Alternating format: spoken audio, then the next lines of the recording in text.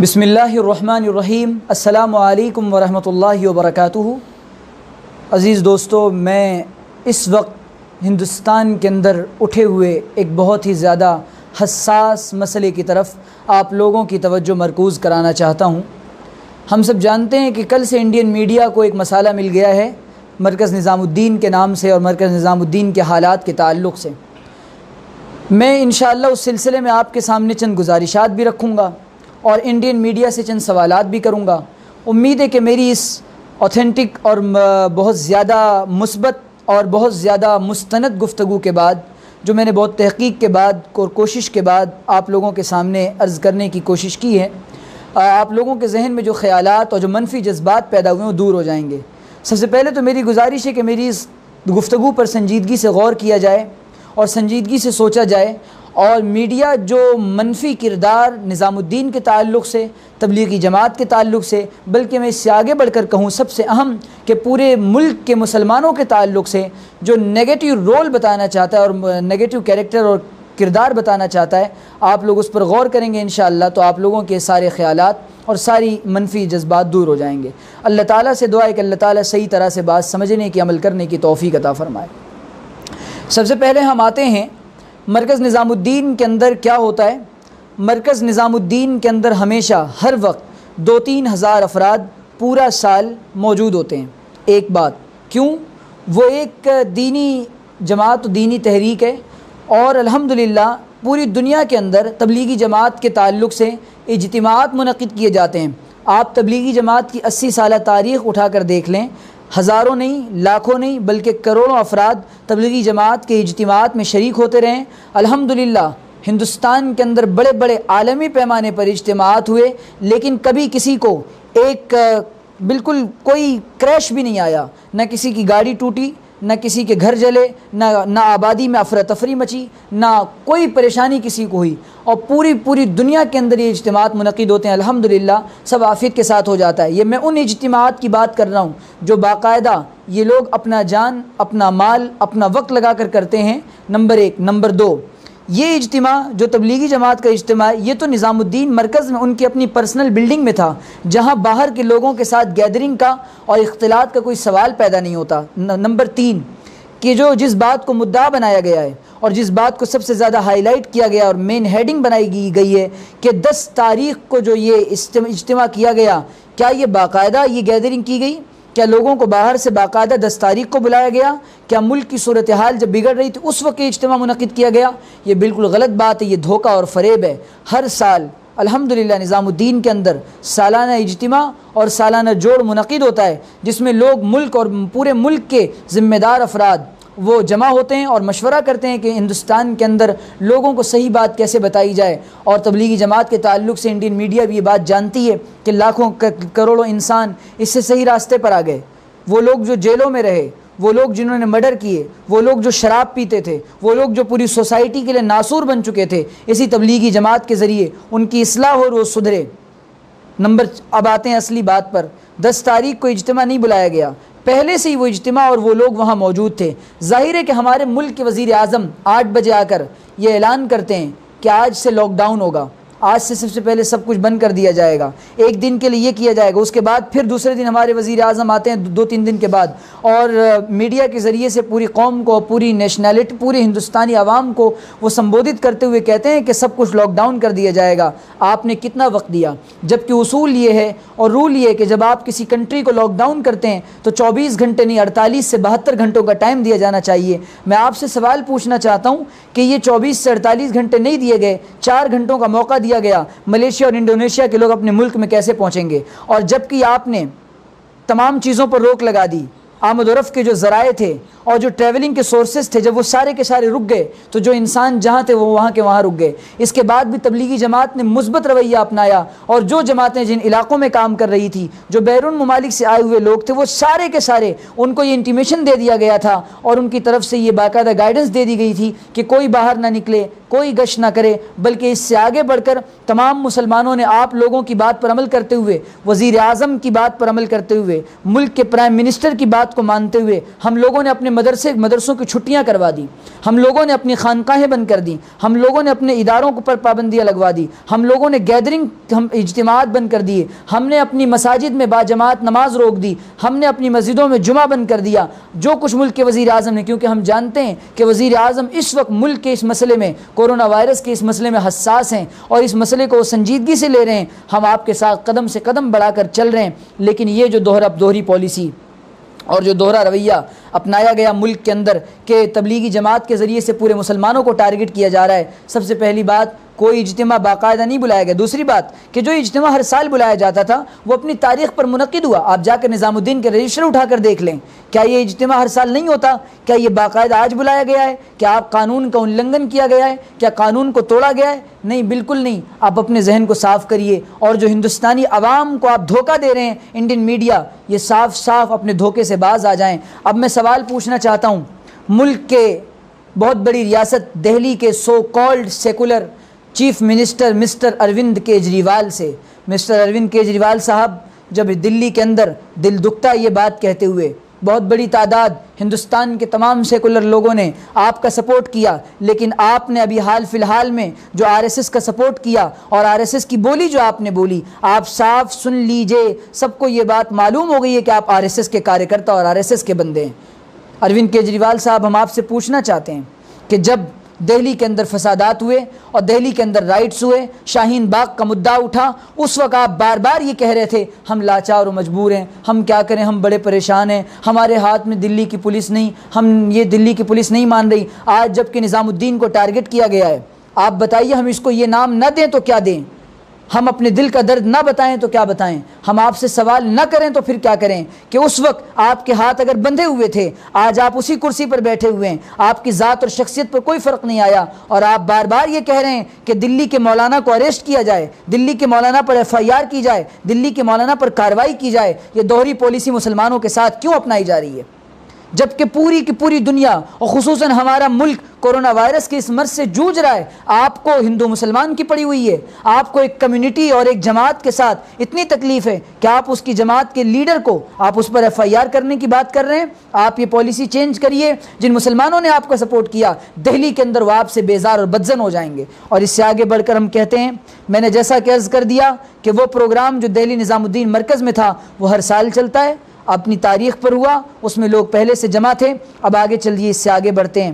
اور اس وقت سوشل گیدرنگ واز الاؤڈ اس وقت یہ اختلاط پورا کا پورا الاؤڈ تھا اور اس کی اجازت تھی، اس وقت منع نہیں تھا۔ دس تاریخ کو جب یہ پروگرام ہوا، اب اس سے آگے بڑھ کر ہم کہتے ہیں، ہم سوال پوچھنا چاہتے ہیں ملک کی حکومت سے۔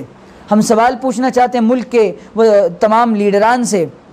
اور بی جے پی کے لیڈر سے کہ جب آپ لوگ اس مسئلے کی حساسیت کو اور اس کی نوعیت کو اور اس کی اس کے اس کی اس کی سختی کو، اس کے معاملے کو پورا پورا سمجھ رہے تھے، آپ لوگوں نے انٹرنیشنل ایئرپورٹ پر اور انترراشٹری سیماؤں پر روک کیوں نہیں لگائی؟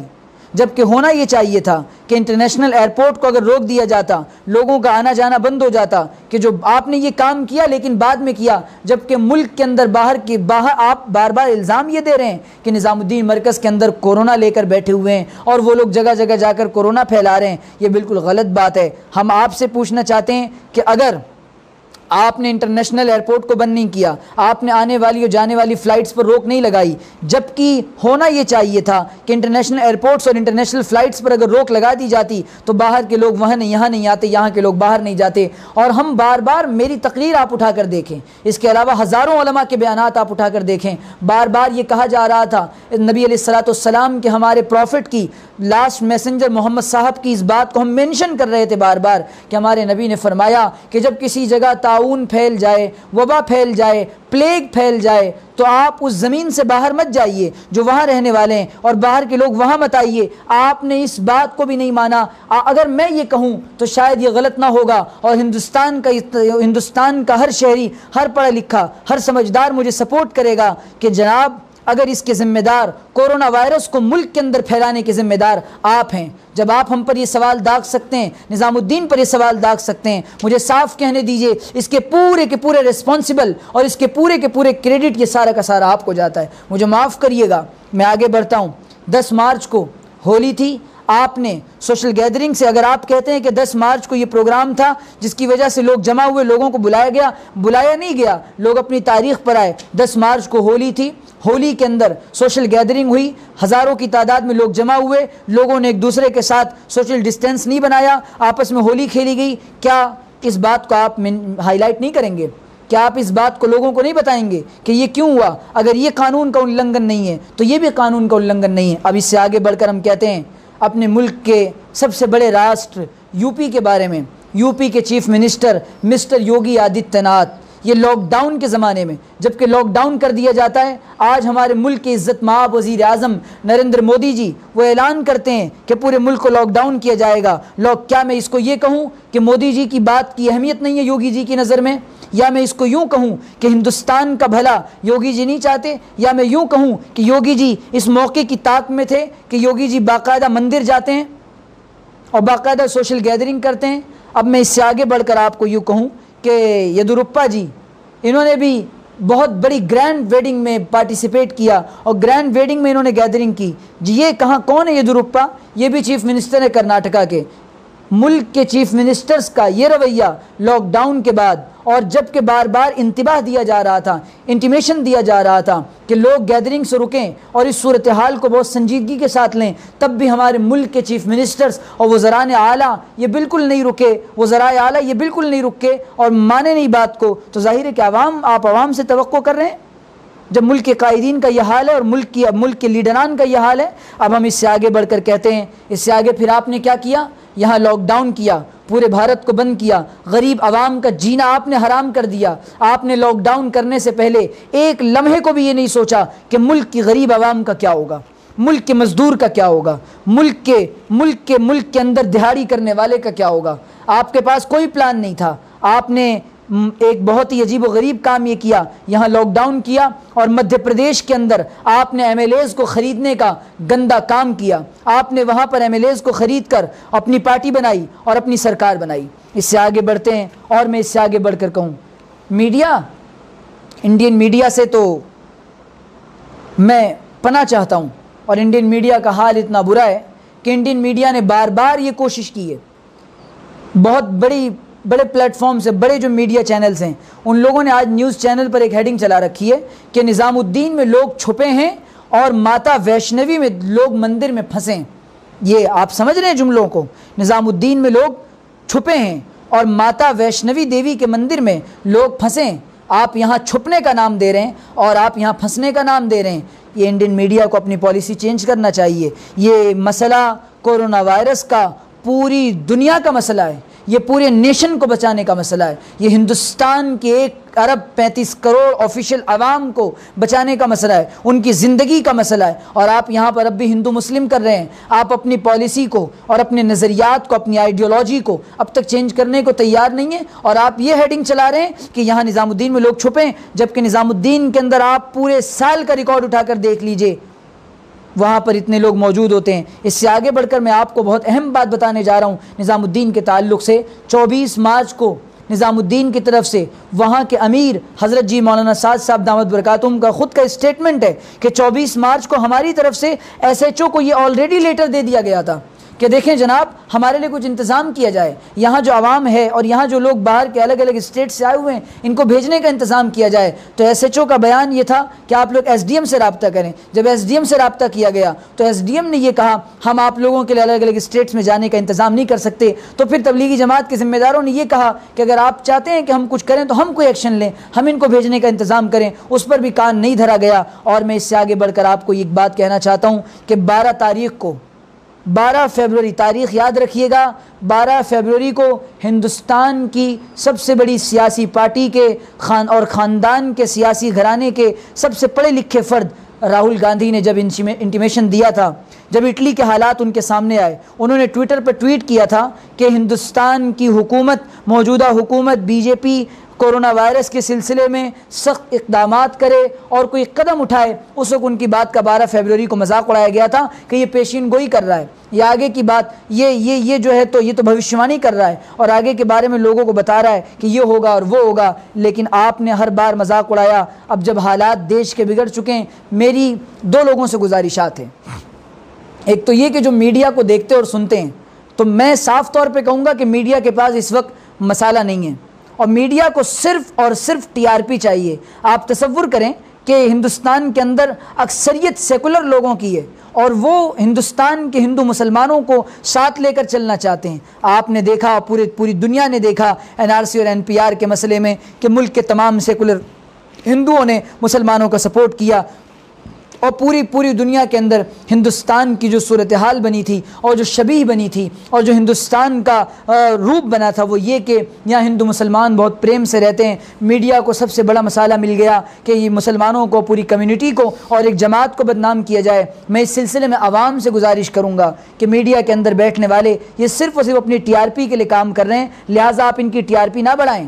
آپ ان ایسے نیوز چینلز کا بائیکاٹ کر دیں جو غلط خبریں چلا رہے ہیں۔ اور رہا سوال یہ کہ یہ پازیٹیو رپورٹ آ گئی ہے اور اتنے لوگ آ گئے اور اتنے لوگ آ گئے ایسا بہت جگہوں پر ہوا ہے۔ میں کیا کیا میں نے اتنی باتیں بطور تمہید اور بطور چند باتیں میں نے گنوائی ہیں ورنہ اس سے زیادہ اور بھی باتیں میرے پاس ہیں۔ اللہ تعالیٰ دو باتیں۔ ایک بات تو یہ کہ لوگ ان پر کان نہ دھنیں دوسری بات کہ یہ جو ہماری ملک کی عوام ہے اور ہمارے مسلمان بھائی ہیں، ان کو چاہیے کہ پریشان نہ ہوں۔ اور دوسری اہم بات وہ یہ کہ ہر مسلمان اس مسئلے کے اندر تمام مسئلے کے اختلافات کو بالائے طاق رکھ کر نظام الدین مرکز کے ساتھ کھڑا ہے۔ اور ہم اس سلسلے میں ذمہ دار ٹھہراتے ہیں۔ اروند کیجریوال کو ہم اس سلسلے میں کہیں نہ کہیں ذمہ دار ٹھہراتے ہیں۔ حکومت کے دیر سے اٹھائے جانے والے اقدام کو کہ جو قدم پہلے اٹھایا جانا چاہیے تھا، وہ پہلے نہیں کیا گیا۔ تیسری اہم بات کہ نظام الدین مرکز نے اپنا کام پہلے ہی کر دیا تھا، ان کی بات پر کان نہیں دھرا گیا۔ اور یہ جو کان دھرا گیا ہے نظام الدین کی طرف، یہ تو خود ہماری طرف سے پہلے ہی کہا گیا اور پہلے ہی آپ کو لیٹر دیا گیا۔ اس کے بعد آپ کی توجہ یہاں ہوئی ہے۔ اس لیے ملک کے اندر میں میڈیا کے لوگوں سے بہت معدبانہ گزارش کروں گا۔ ٹی آر پی کے لیے آپ ہندو مسلم کا کھیل مت کھیلیے۔ ٹی آر پی کے لیے آپ غلط خبریں اور غلط ہیڈنگ نہ چلائیے۔ ٹی آر پی کے لیے آپ لوگوں کے ذہنوں کو خراب مت کیجیے کورونا وائرس سے لڑنے کے لیے ہمارے ملک کے وزیر اعظم نے جو قدم اٹھایا ہے، ہم ہندوستان کے تمام شہری، ہم وی آر انڈین مسلمس اور ہم پہلے ہمارے لیے ہندوستان پورا ملک ہے، ہم مسلمان ہیں ساتھ ساتھ، لیکن جہاں پر بات دیش ہت کی آئے گی، ہم ملک کے وزیر اعظم کے فیصلے کا تہ دل سے استقبال کرتے ہیں اور ہم ان کے ساتھ کھڑے ہیں۔ اللہ تعالیٰ سے دعا ہے کہ اللہ تعالیٰ صحیح طرح سے بات سمجھنے کے، عمل کرنے کی توفیق عطا فرمائے۔